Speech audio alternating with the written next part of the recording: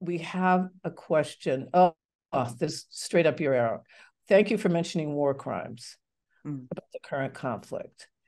How do you feel that the media in the US is in any way biased? Speaking of difficult questions. Sure, of course it is. At times, you know, it depends on who on who you're you're listening to or reading. I mean, bias happens. Um, it certainly exists. I, what I try to what I try to get, you know, I get asked a lot about people like who can we trust? You know, uh, you know, uh, w- what's fake news? Um, and I usually try to use instead of bias and and because biases exist. You know, every human being has a bias. Every newspaper has something of a bias it's not a conspiracy. It's not like they're deliberately making stuff up to try to manipulate you. Uh, it's just uh, viewpoints that that different different people come from. I think that what matters most is um, quality of reporting, you know, verifying facts and the experience of the journalists. So, you know, I could I could what read the Wall Street Journal today. I could read the FT, which I did. I picked up a copy of the FT today. I could read the the New York Times. They all might give pretty different perspectives on what's going on in Israel uh, uh and Gaza right now. It doesn't mean that it's not quality reporting. It it does mean that you know there there is on you know for better or for worse, and usually it's worse. There's a spectrum of coverage. What matters most is quality and whether or not any of these people have experience there, know what they're talking about, and have verified the reporting. Um, and these may seem like very basic things, but they're not to be taken for granted at all.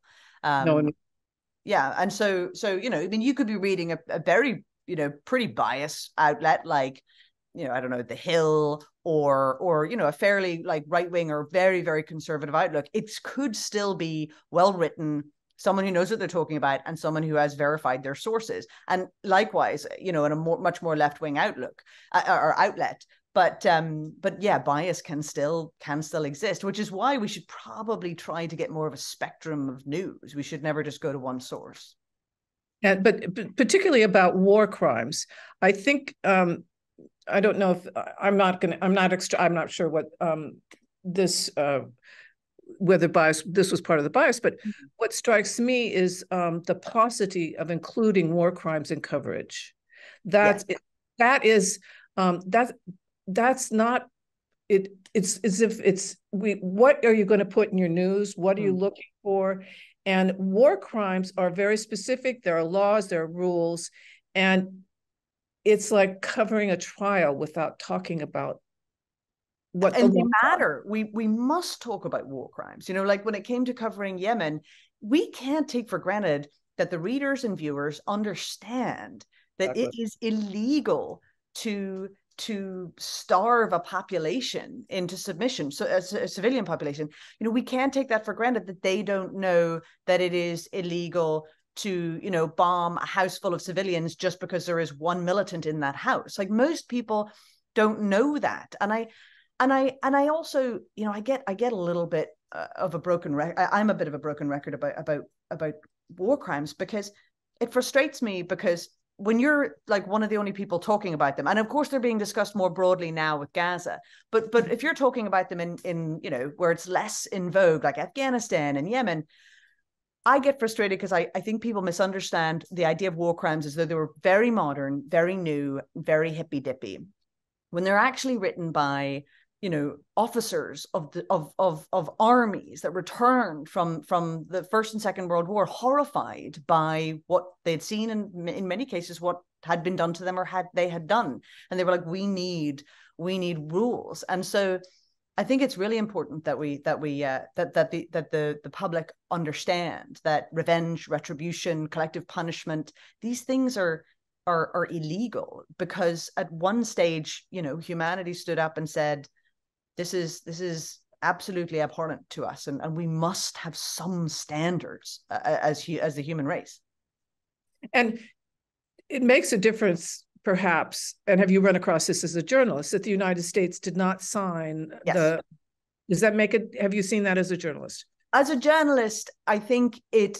it's it, it matters in terms of repercussions, right? So the United States is not a, a signature to the Rome Statutes. Right. So this was very interesting. There was a very interesting um, uh, case whereby, of course, there any any if, if anybody wanted to bring war crimes to the ICC to the Hague from Afghanistan, for instance, the United States was not subject to to the uh, the, the ICC. However, sometimes you know there, there's an argument to be had that that basically the this that the, those laws um, that that uh, Afghanistan was.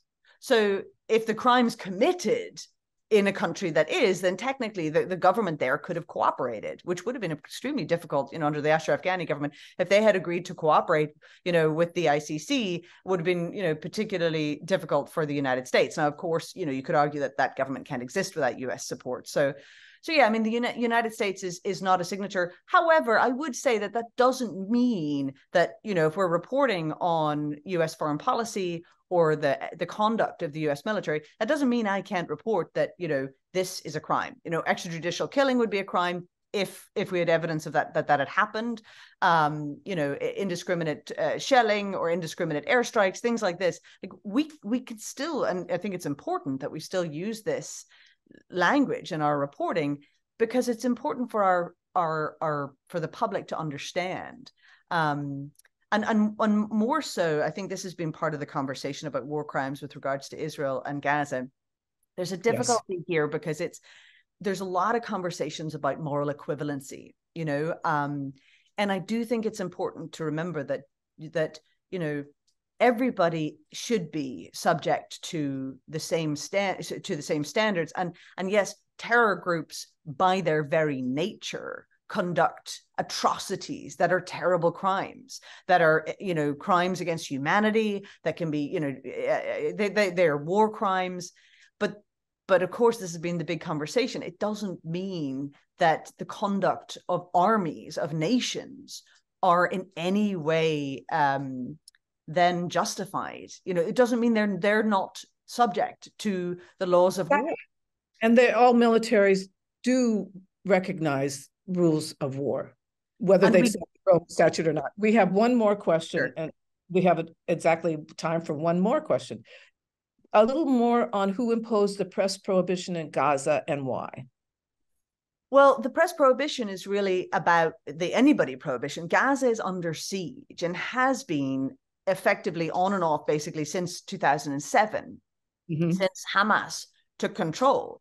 And so during peace times, if I went to Israel and I wanted to go to Gaza, I would have to go to the uh, Israeli authorities and ask permission and show my accreditation, apply, spend some time, get permission. It's special permission to enter. You know, Gazans are not allowed out of Gaza. Um, unless they get very, very special permission. And it's very, very difficult for them to get it.